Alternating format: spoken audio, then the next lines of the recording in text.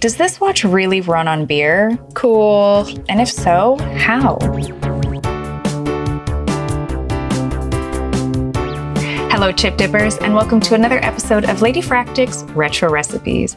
I hope you've all had a wonderful and merry holiday. Speaking of merry, I've been wondering, as I imagine most of you have too, why isn't there a watch that runs on beer? And lucky for me, Santa heard my wish and he delivered. Ta-da! This is the new high-tech product, the Water Watch. No batteries needed. The only watch that runs on ordinary tap water or beer. You know, it's interesting because this specific packaging says that it runs on tap water, and I've seen other versions of this that do state that it runs on beer. But it seems as though something has happened where the marketing team has removed the beer option. Probably kids wanted to see how cool it was and borrowed their parents' beer. Hmm. The Common Six was better than the Italian stick. And an alcoholic Guinness. Thirsty, babe. Excuse me. Thank you. We'll get back to that in a minute. Worldwide patent pending water watch, LCD course accuracy, hour, minute, second, months, and the date. Aren't we lucky? How often to add water? Add water to watch when display becomes dim. It lasts approximate for a few weeks, depending on the humidity in your area. So I'm assuming in dry California, it'll last about two weeks, and in hot, humid Florida, it'll last forever. Now, how to add water. Place the water watch under a tap as shown in figure one. This is figure one. Turn on the tap and apply water to the holes on the lateral side of the watch for a few seconds. Turn off the water tap. Don't forget to turn it off, especially if you're using beer. Shake the watch slightly for two to three times. The display will then be clear. If not, try step B and C again. Remember, if you don't succeed, try again unless you're skydiving. Here are some examples of the different displays and the calendar settings. All right, let's unbox this.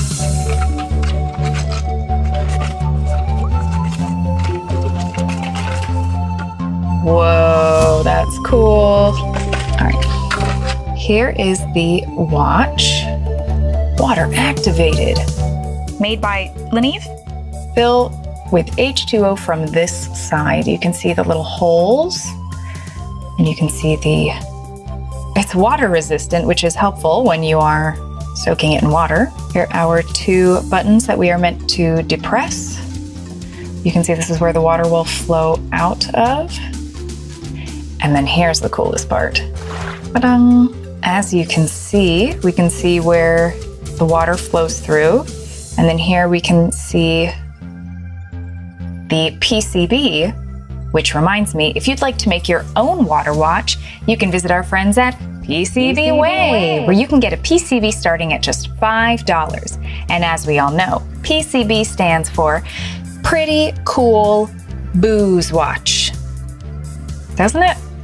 Now we get to find out if this will actually work with beer. So let's put Perry's Guinness to the test. Rude. Well, just before we do that, you might be wondering when this watch first splashed onto the scene, who is the company behind it making waves?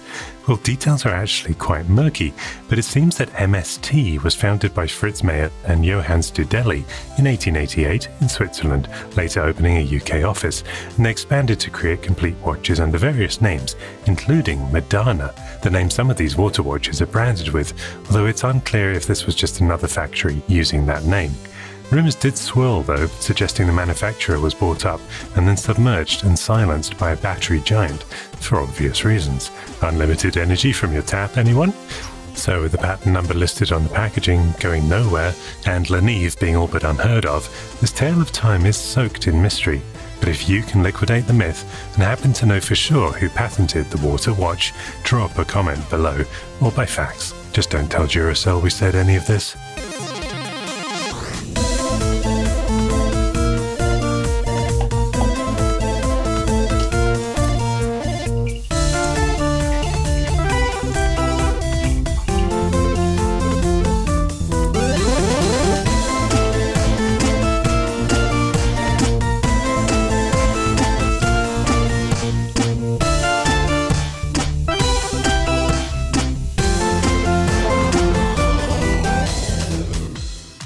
It seems like we have a bit of a clog.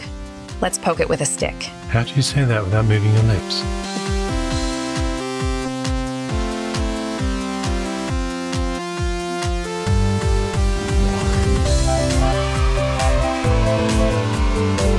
Cool. Now let's fill those remaining chambers for maximum charge using a more accurate method this time.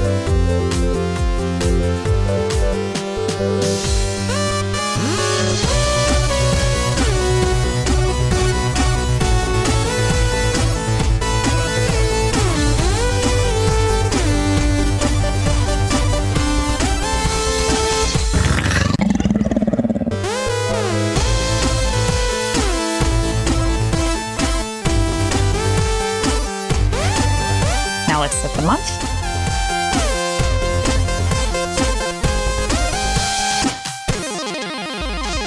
Day. Five hours later. Hour.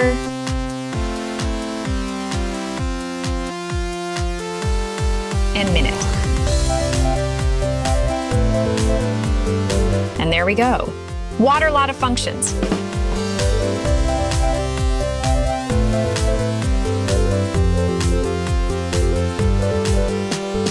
Let's see if it's Perry approved. I can't believe that worked. That's amazing. But now I want to know how did that work? Inside the watch, two metal buddies hang out magnesium or zinc, the anode, and copper, the cathode, just like in a battery or capacitor. Magnesium is the generous type, its atoms always ready to toss away their sparkly electron treasures for a bit of stability, turning into positively charged ions. Copper, on the other hand, is the collector, always keen to catch those shiny electrons. Splash in some electrolyte soup that can conduct electricity, like water and beer, and voila! The circuit is connected between the metals, and those electrons eagerly dash towards the copper and en route are drawn into the watch's power circuit.